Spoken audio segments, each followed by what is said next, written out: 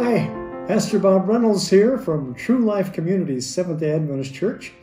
Hope you're having a wonderful Monday, and I hope that uh, you're staying healthy.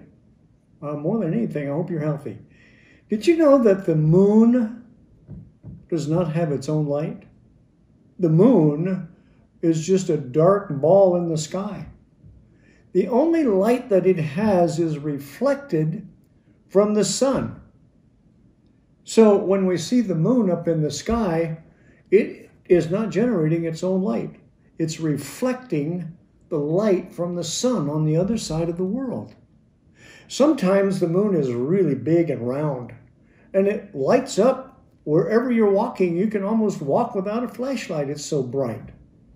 Other times you see maybe a little, half of the moon, or maybe a little sliver of the moon. Do you know why that is? It's because the earth gets in the way. Yeah, the earth comes between the sun and the moon, and it's right in here, and it shuts off part of the light. Sometimes you don't see the moon at all because the earth gets in the way. it's kind of like that with us. you know, God wants us to reflect His joy and love and peace and long suffering. He wants us to reflect his light.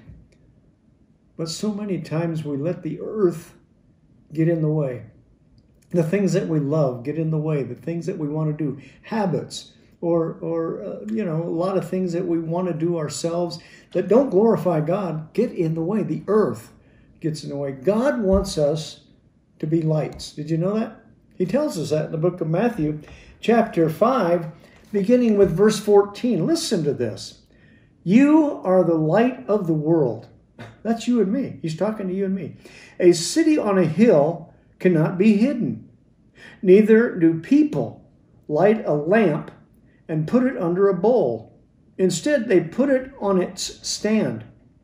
And it gives light to everyone in the room. Isn't that amazing? When we are reflecting God's light, we affect everybody in the room.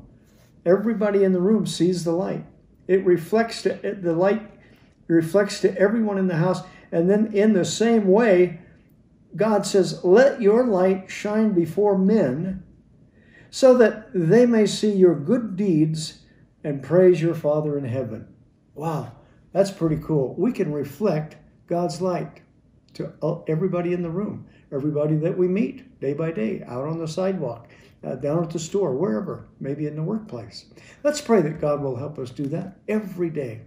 Father, I thank you that we can be lights to people around us. And that light is not our light, that light is reflected from Jesus. And his joy and peace and patience just touch everyone in the room because they see it in us. We thank you for that. In Jesus' name, amen.